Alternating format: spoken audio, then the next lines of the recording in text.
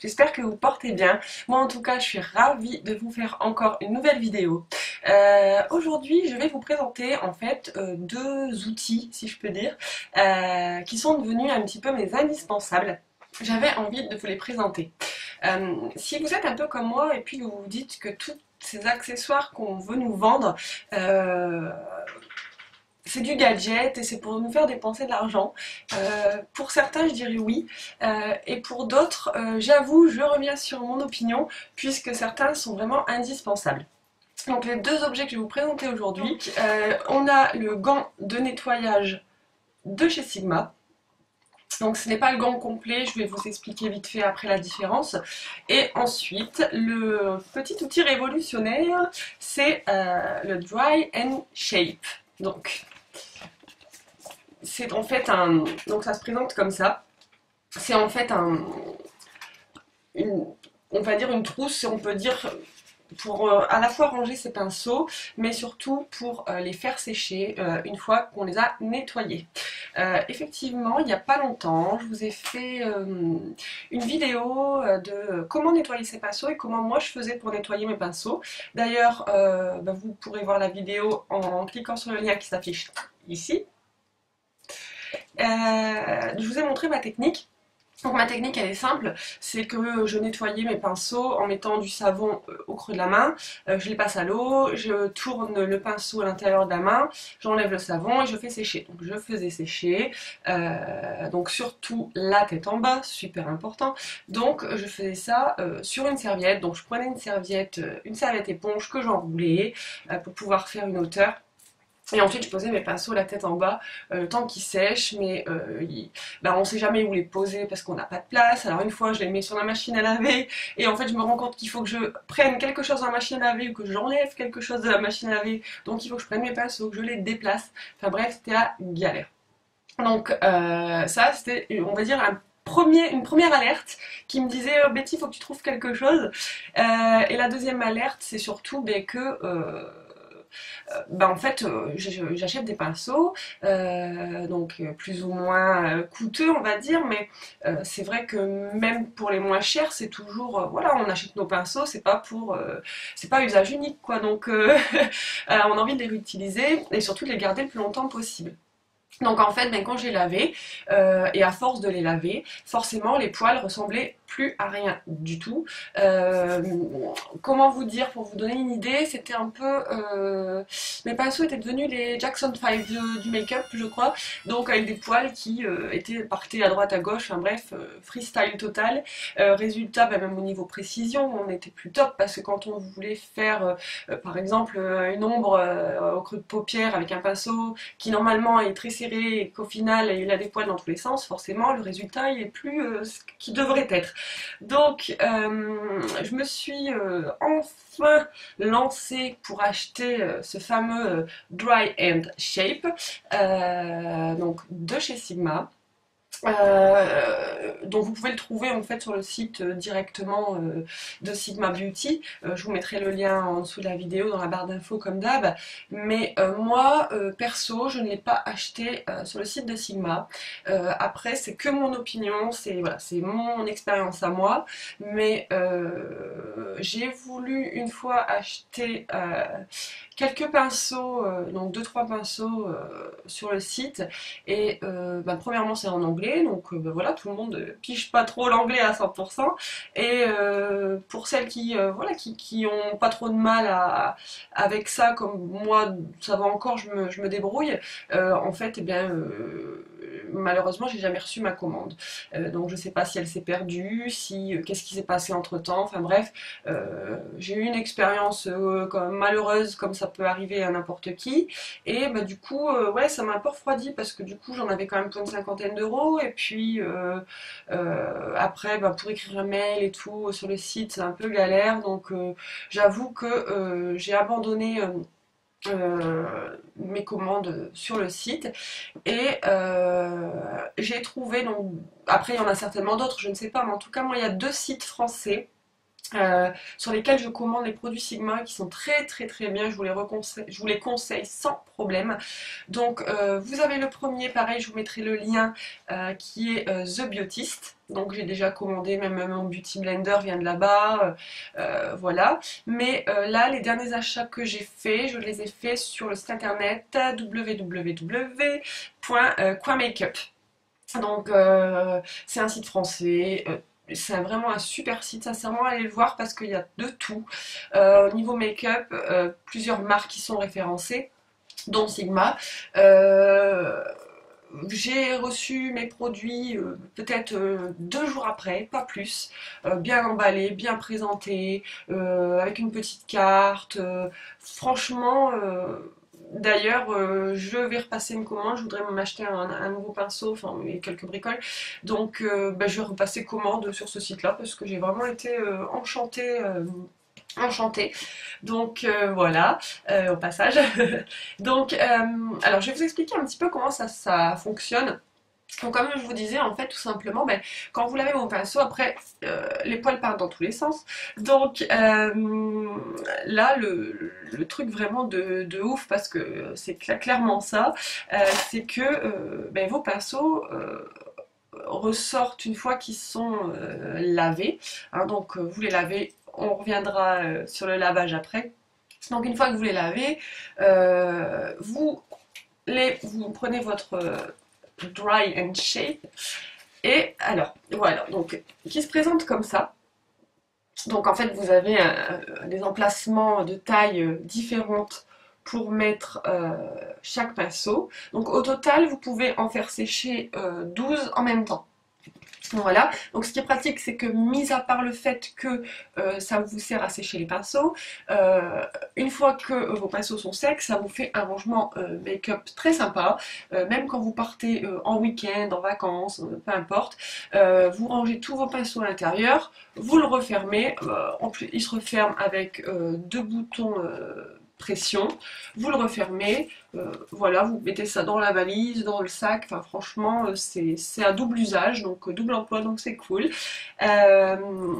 alors donc, et je reviens là-dessus, donc vous avez donc les, les petites poches, les petites pochettes donc pour mettre les pinceaux, et en haut vous avez les élastiques, vous avez, en fait c'est donc des élastiques qui vous permettent euh, ben, de faire sécher en fait les pinceaux. C'est ça qui vous permet de faire sécher les pinceaux, puisque euh, en général, euh, enfin moi je lave mes pinceaux le, soir, quand je les lave c'est le soir. je les mets sur une serviette et c'est vachement long à sécher. En général, il faut la nuit complète ou voire plus. Euh, voilà. Donc euh, c'est vrai que c'est pas toujours euh, pratique quand on n'a pas 36 000 pinceaux et que on le lave et qu'on en a besoin pour le lendemain. S'il est pas sec, ben, c'est un peu la misère. Donc en fait, euh, la promesse euh, de ce produit-là, c'est que euh, vos pinceaux sèchent entre 6 et 8 heures maximum. moi, en ce qui me concerne, oui, c'est vrai, ils ont séché très vite. maintenant, voilà, c'est la période d'été, on est au mois de juillet. je veux dire, la température aussi dans la maison est, assez élevée. Hein. En plus, ces derniers temps, les, nuits ont été assez chaudes. Donc c'est vrai que mes pinceaux ont séché vite. Mais euh, voilà, sinon la promesse, on est entre 6 et 8 heures au niveau du séchage. Donc, euh, ben, comment ça se passe Tout simplement, vous prenez euh, votre pinceau une fois que vous l'avez lavé, vous le l'essorez un petit peu comme d'habitude hein, sur un morceau de sopalin ou une serviette éponge, peu importe, et vous venez placer votre pinceau à l'intérieur du dry and shape. Alors, euh, donc l'élastique, évidemment, c'est pour mettre, euh, hein, je vous fais pas le, dessin, c'est pour mettre euh, le pinceau, il y a les poils, mais pour pas abîmer votre pinceau, ne pas passer le pinceau la tête en avant comme ça, parce que sinon, pareil, on destroy tous les poils. Donc on le passe vers le bas, donc admettons, ben, là j'ai pris mon, le pinceau de chez ELF euh, que j'utilise euh, pour mettre euh, l'highlighter. Donc en fait, ben, tout simplement, vous le passez à l'intérieur de l'élastique. Voilà. Et il vient donc s'incorporer dans la petite poche. Et donc là par exemple, j'ai fait ce qu'il ne. J'étais trop haut, donc l'exemple type euh, de la fille pressée, été trop haut. Donc l'erreur à ne pas commettre est de redescendre le pinceau en faisant ça parce que les poils partent dans tous les sens. Donc dans ce cas-là, on l'enlève et on recommence. C'est euh, la meilleure solution. Donc on fait ça, on le passe à l'intérieur et une fois qu'il est dans l'élastique, hop, il est là, il est là, il ne bouge plus. Voyez? Donc, on met bien les poils euh, serrés dans l'élastique.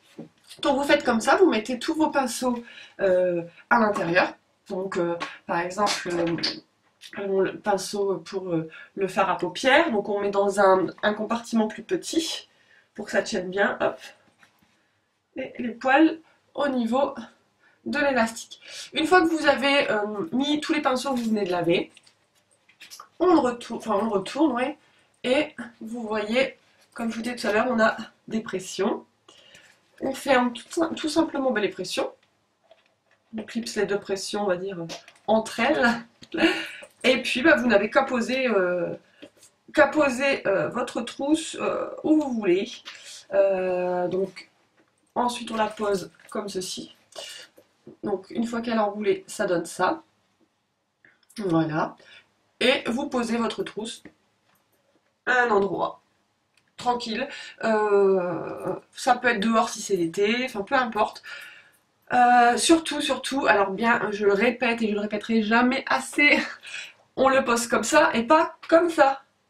Même si on a les élastiques qui absorbent l'eau, euh, surtout, surtout, surtout, surtout, ça c'est indispensable, on les fait sécher l'élastique en bas. Donc les pinceaux, la tête, euh, pourquoi? Bah, C'est euh, tout simplement euh, évident, c'est que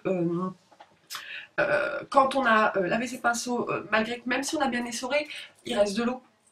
Donc si vous faites sécher le pinceau comme ça, euh, ce qui risque d'arriver bah, tout simplement c'est que euh, de l'eau coule à l'intérieur du pinceau euh, et résultat au fur et à mesure du temps et ben, il va y avoir des moisissures et puis ben, voilà votre, votre, pinceau va être infecté de bactéries. Donc surtout toujours toujours la tête en bas même si vous n'avez pas ce type de produit la tête en bas. Quand je dis la tête en bas, après, on n'est pas forcément obligé de les laisser sécher debout comme ça, mais comme je vous disais au début de cette vidéo, au moins les mettre euh, de façon inclinée, ne serait-ce que sur une serviette de bain enroulée, et vous les faites sécher un petit peu. Le, plus important est vraiment qu'il n'y ait pas euh, d'eau qui puisse euh, aller à l'intérieur du pinceau tout simplement. dernière chose, ce qui est super aussi dans ce produit, c'est que eh ben, tout simplement, comme je, pense que je vous l'ai dit tout à l'heure, je sais plus, je, je pars tellement que je me souviens plus. Euh, ouais, c'est au niveau de la forme des, poils des pinceaux, c'est que donc ils, reprennent une fois qu'ils sont secs euh, et que vous le sortez. Euh, ils reprennent leur forme d'origine en fait, leur forme initiale. je vais vous montrer par exemple j'ai deux pinceaux, donc c'est pas de la même marque, mais c'est deux pinceaux qui sont clairement identiques. Donc il y en a un de chez Sephora. Euh, le numéro, je suis incapable de vous le dire puisqu'il est euh, totalement... Ah si, c'est le contour euh, blush, le numéro 43 de chez Sephora. Et j'ai le même, j'ai acheté le même chez ELF. Donc j'ai, alors vous ferez pas attention, mais celui de Sephora, je l'ai pas encore lavé, j'ai utilisé ce matin. pas bien. Et euh, le deuxième, donc de chez ELF, lui, euh, je l'ai lavé, euh, je ne l'ai pas encore utilisé à cette semaine, donc j'ai lavé la semaine dernière et je l'avais fait sécher à l'air libre. Donc pour vous montrer un petit peu la consistance des poils, c'est que, regardez le pinceau de chez ELF, donc je l'ai lavé et il a séché en fait naturellement à l'air libre. Donc vous voyez les poils qui sont assez ben, voilà, qui partent un peu en, vrille, euh, alors qu'à l'origine, c'est un pinceau qui est assez, euh, on va dire, poil serré. Euh, là, j'ai le même de chez Sephora. ces derniers temps, il ressemblait à ça.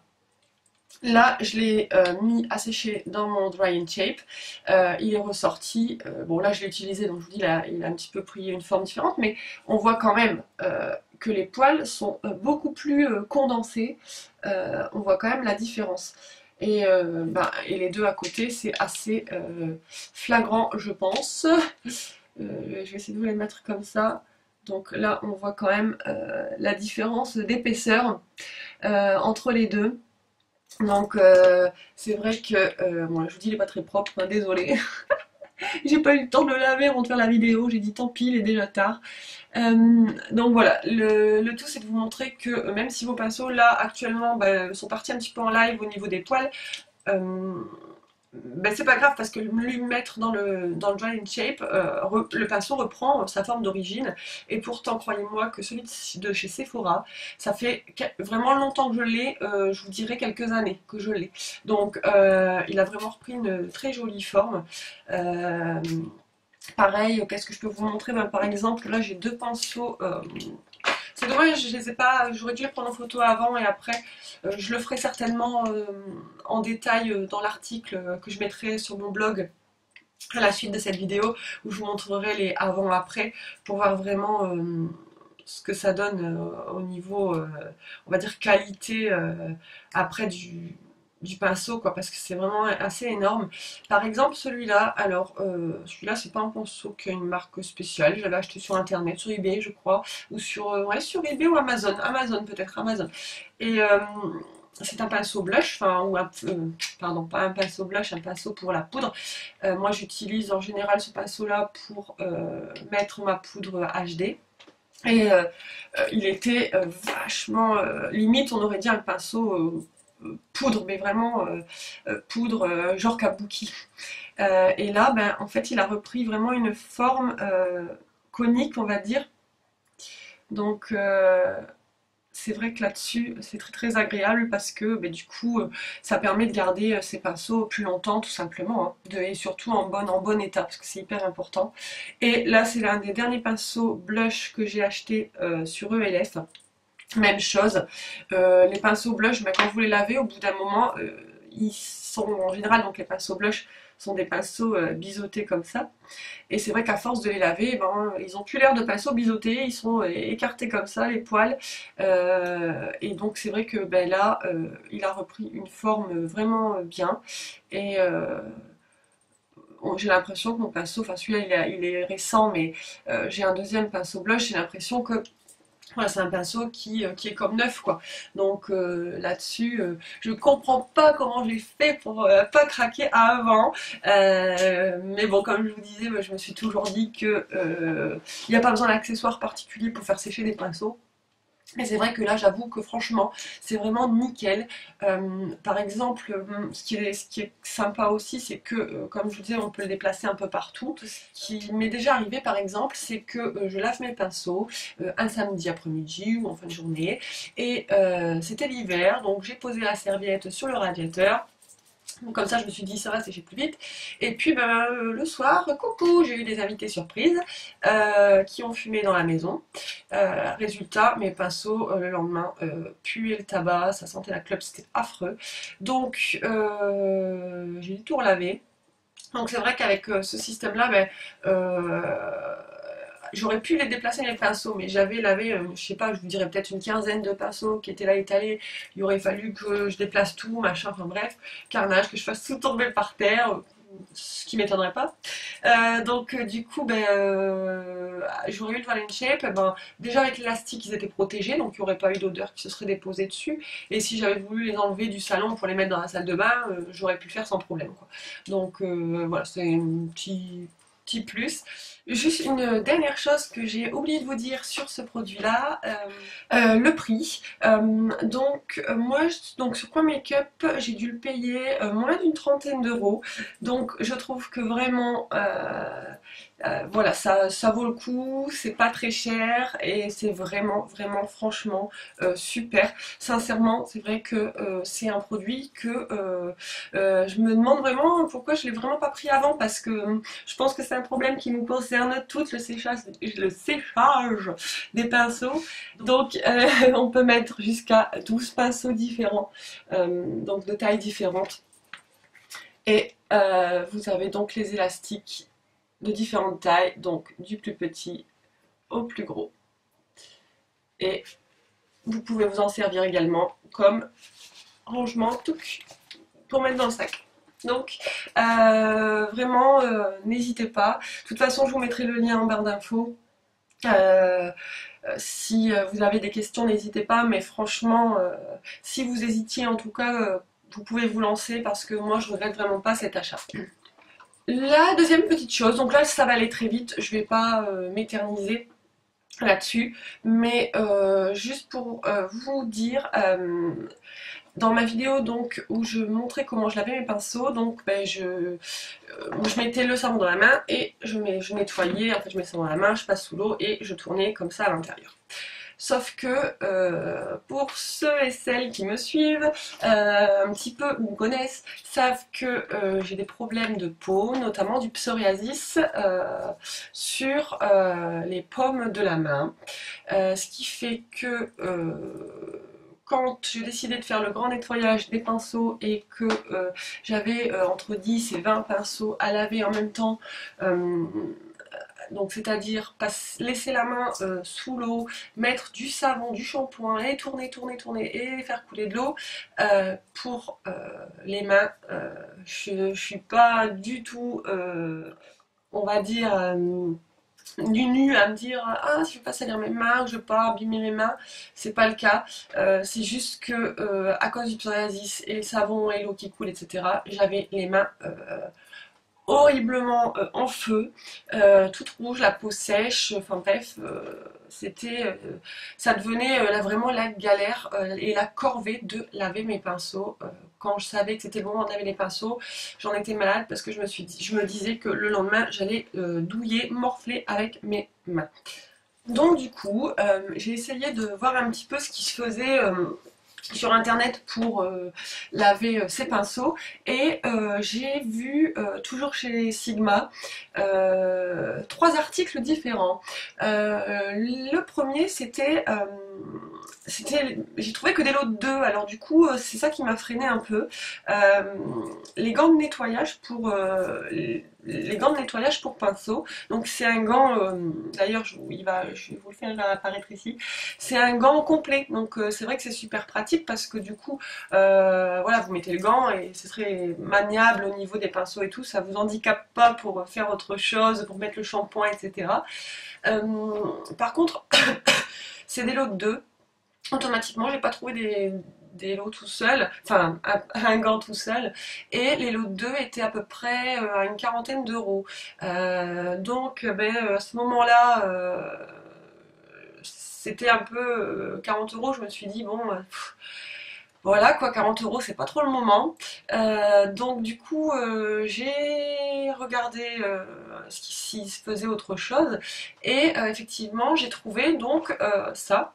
Donc c'est un gant de nettoyage, donc le gant spa. Enfin ils appellent ça gant mais c'est pas un gant intégral on va dire mais euh, c'est un gant quand même. Euh, et là donc il était, euh, il se vend donc à l'unité et je l'ai payé entre 20 et 25 euros il me semble sur le site de, coinmakeup.com. Donc bah, du coup je trouvais ça super bien et pour le coup bah, pour le prix c'est très pratique. le troisième article c'était le tapis le tapis de nettoyage. Alors ça, je trouvais ça vraiment génial. Le tapis de nettoyage, donc que vous voyez là. Le tapis de nettoyage, en fait, ben, c'est cool parce qu'en fin de compte, le tapis, vous le mettez au fond de votre évier et vous avez juste qu'à nettoyer vos pinceaux dessus. il n'était pas super cher non plus, mais il y comme c'est un article très très récent qui est sorti il n'y a pas très longtemps, je ne l'avais vu que sur le site de Sigma et ben, comme je l'ai dit au départ, j'ai un petit peu hésité euh, et je me suis dit que finalement bah, j'allais attendre et que j'allais pas commander euh, sur le site. Donc euh, je me suis rabattue sur ce gant. Donc comment ça se passe Et bien tout simplement vous, donc, vous mettez en fait, vous passez d'abord, parce qu'il est, fait, est fait comme ceci en fait. et vous avez donc différentes parties avec des formes différentes. Donc devant, voilà. Et ensuite, vous pouvez également, en plus, enfin, vous pouvez l'utiliser recto verso. C'est-à-dire que là, euh, vous avez donc ici, donc vous avez euh, les euh, lignes comme ça, donc qui sont, on va dire, pour le rinçage, pour rincer. Et euh, tout ce qui est ici, donc là et plus bas, donc on a des formes différentes. Euh, donc c'est pour le nettoyage, donc vous mettez euh, votre savon et vous tout simplement vous mettez votre main sous l'eau avec le gant et hop, en fait vous tournez comme ça pour laver, on enlève le surplus et après pour rincer, on fait ça ici en haut pour enlever le savon qui reste et après on sèche comme d'hab.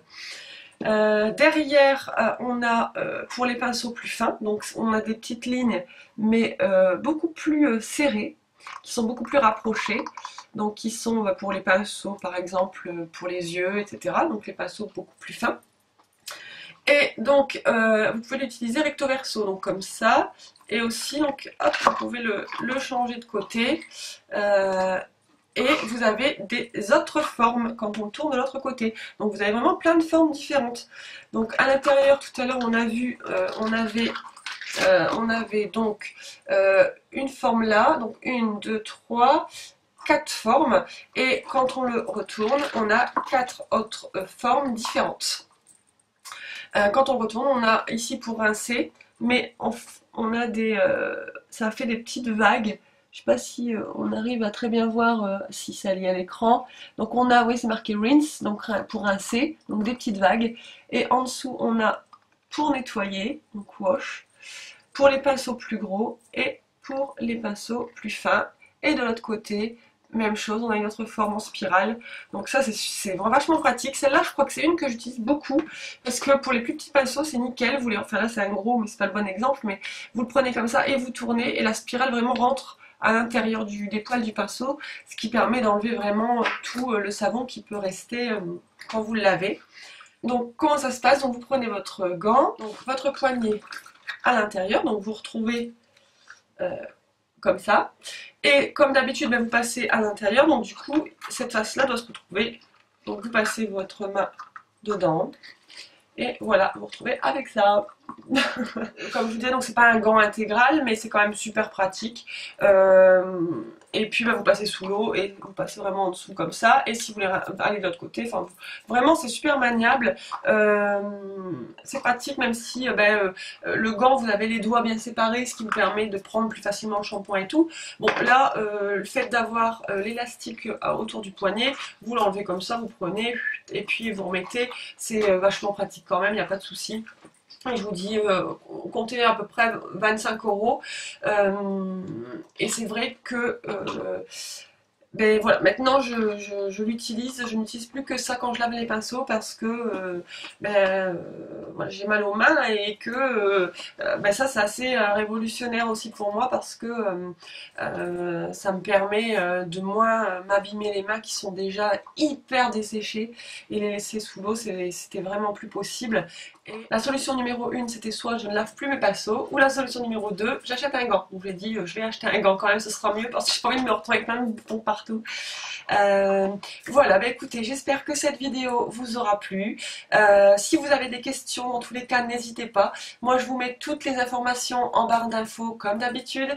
Euh, un article sera publié sur mon blog dans les jours à venir, avec pareil tous les détails et les démos. En attendant, je vous fais des gros bisous et je vous dis à très vite. Ciao